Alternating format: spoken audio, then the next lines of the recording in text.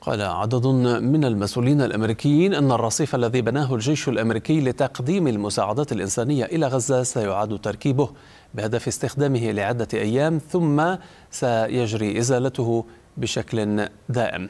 وأوضح أن الهدف من إعادة تركيبه هو إزالة المساعدات المتراكمة ونقلها إلى غزة.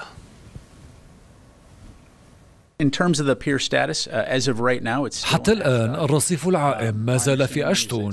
القيادة المركزية تعتزم إعادة تثبيت الرصيف مبدئيا هذا الأسبوع.